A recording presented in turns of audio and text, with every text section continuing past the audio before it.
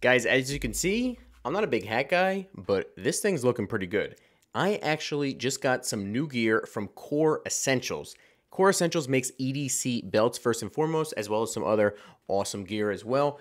They actually reached out to me uh, in order to give them a thorough review of their EDC belts. They were kind and generous enough to not only give me one belt, but actually two belts. The first one is this awesome one and a half inch gray tactical belt. And the second one is this really cool brown EDC leather belt. So I'm going to give these a thorough review as I promised them, but before doing so, I wanted to give you guys a bit of a like an unboxing and a setup video to kind of walk you step by step how I'm going to set up these belts because they do actually require some setup because they come in a really long size and you actually have to cut them down. I just wanted to go through this process with you guys starting from square one. So let's get to it. All right, guys, I am here with all of the gear that Kore Essentials did send me. Obviously, it all came in one box, but let's start off with the actual belts themselves.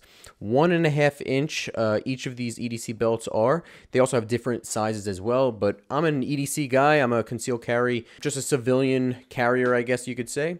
So I felt like the one and a half inch EDC belts were perfect for me to give a thorough review on uh, for Kore Essentials. Another, once again, another big thank you to Kore Essentials. Now, they did send me these for free, but I'm going to be honest as always uh, in regards to, you know, what I think about them quality-wise and everything like that. And I will give a thorough review, but that will be another video. This will just be an unboxing and setup video. So first things first, you have the one and a half inch gray tactical nylon belt here and the other one and a half inch brown leather belt. And I always wanted to try out these Kore Essential belts and the biggest reason for that was because of this ratchet system that they have. Now we will get into that in a little bit, but let's first start out with what they sent me as well and what comes with the belts. They also were kind enough to send me this really cool trucker hat, and I'll put that to the side. I'm not a big uh, hat guy, but I do find myself putting a hat on at the range, uh, outdoor range every now and then.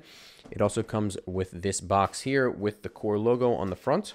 Let's open it up and see what's inside.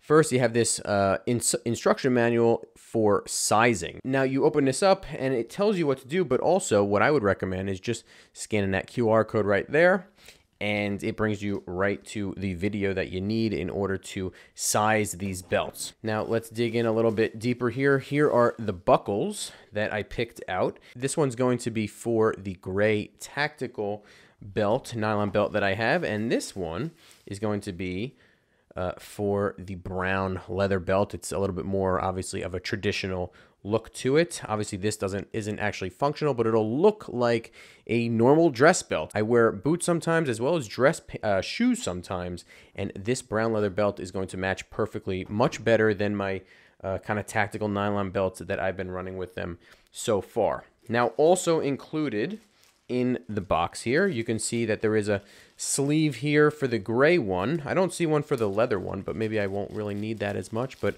I'm assuming this is just a sleeve to keep the end of the belt uh, tucked in on that gray tactical nylon belt.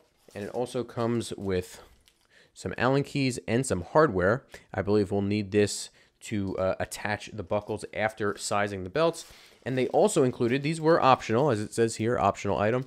These are sleeves. I think they're to protect the belt. These are really cool to have if you're, especially for the leather one, if you're concerned about your holster kind of chewing up the belt, especially on the leather ones. I do have a concern though, just for my own situation, because the holster that I kind of run every single day, I'll show you in a second, is the Tenicor um, holster. And what it has on it is the T1 clips here, which are I've put in uh, previous review videos. These are these things bite, man. Honestly, they're very very tight. So I may actually have to, um, you know, loosen them up a little bit. Eh, that way they uh, either don't chew up the belt, or if I put the sleeves on it, obviously that's going to make the belt like thicker and harder for these things to grab onto. So that is a, a slight concern of mine. But let's see how it plays out. Now that was what was in the box completely. Now let's go back to the belts themselves. Now the belts themselves are super, super high quality. I would say the tactical uh, gray model is very similar quality to the uh, Siguera emissary belt that I have been using. Now, obviously, that does not have the patented ratchet system for an EDC belt, so that's what I'm really excited for with this belt here. I have a feeling this is going to be uh, a big time everyday carry uh, uh, item for me going forward. You could see the ratchet system right here, and right there it says Kore Tactical Power Core Center and with the patent number. They do have a patent number, not for the ratchet system, but for the actual uh, power core center there, as you can see. Let's get that focused for you.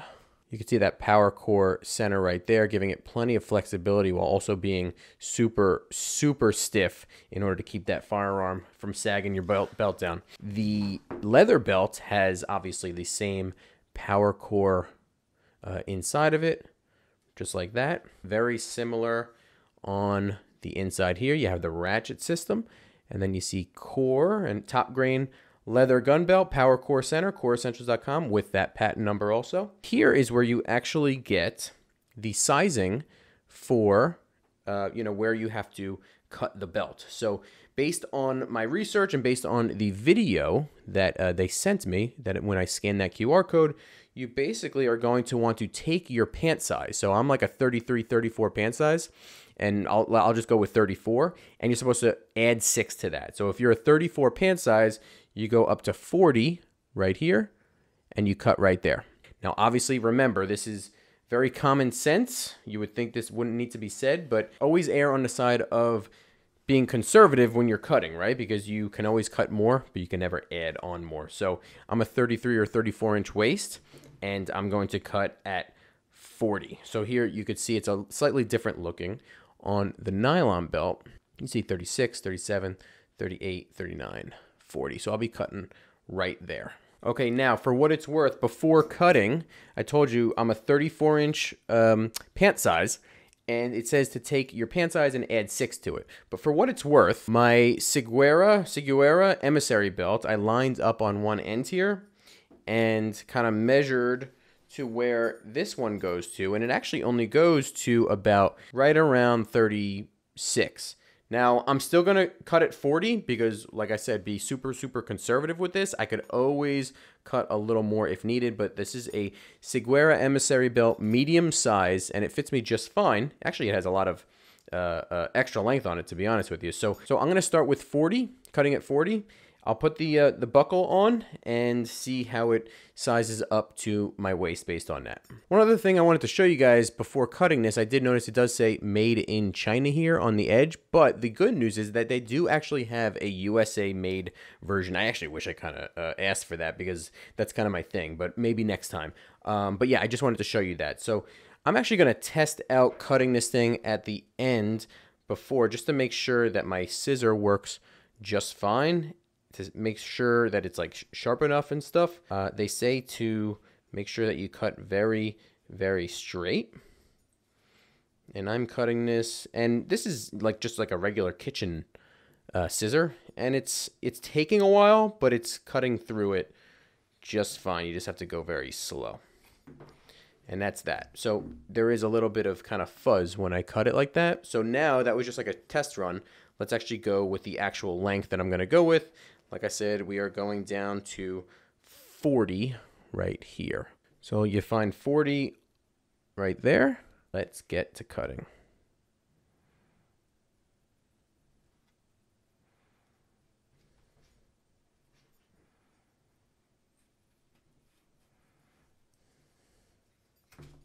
All right. That cuts very, very easily, way more easily than I thought. Like I said, it does get a little fuzzy parts on it, but you can just clip those off you know, maybe for the leather one, I'll actually try a uh, a sharper um, uh, pair of scissors. But let's get started on getting the buckle on this gray tactical version. Okay, so here is the buckle that we're putting on this gray tactical uh, EDC belt. Now, this buckle is, uh, you know, very nice quality actually, and this is going to look really nice. This is going to look really, really nice. I'm super excited. So let's actually, may as well use the Allen key and the hardware that they included. So we just slip it right into this slot here. Well, actually first, it looks like we have to unlatch this and loosen these first. I'm not entirely sure. Looks like the hardware is already in here. So I don't know what exactly these are for, but we're about to find out. So this is all loosened up. And we're going to slip this in right now. And there you go. Actually, it looks like we could actually loosen these even more to get it further into the buckle. Obviously, you're going to want to have it, you know, as into the buckle as you possibly can. Let's just take them out completely and see what happens. Yeah, it goes all the way in. There we go. All the way in. We're going to put these back in now. We're going to tighten them, and then we're going to tighten that that this little uh, strap thing here. Let's see what happens. All right, it kind of goes into that back end rubber of the uh, tactical nylon material. You can hear it kind of squeak. I wouldn't go too much. I would just go until you hear that sound, and then you tighten it up like this, and I guess that's it. I don't think that's really going anywhere, guys. And we're done. So now, let's test out how this buckle works. Slide it in. Oh yeah, that's really nice. And what a cool looking belt too. Now you can see the ratcheting system here works really well going in. And then in order to loosen it, I believe you just hit, hit this little tab here. Let's see. Yep, you just pull that tab and it comes right out. This is an awesome design that they have going on here. All right, now on to the leather version. All right, I'm not even going to get a, uh, a sharper scissor here. Let's just get going on this leather one. So the markings are a little bit different on the leather one for whatever reason. So we're just going to make sure that we go to 40. Like I said, once again, take your pant size and go up six inches. And we're just going to cut right on 40. See if it's any different cutting through the leather as opposed to the nylon.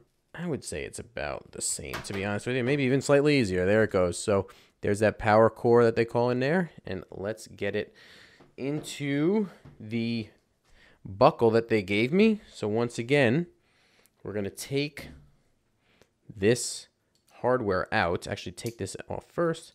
Take this hardware out. And this is actually, actually a really nice, uh, like a gunmetal sort of finish. Very, very nice. I hope you could see it well. My lighting is a little bit off today. I'm kind of trying to use the natural light right by this window over here uh, in order for you guys to see. But let's take out that hardware one at a time.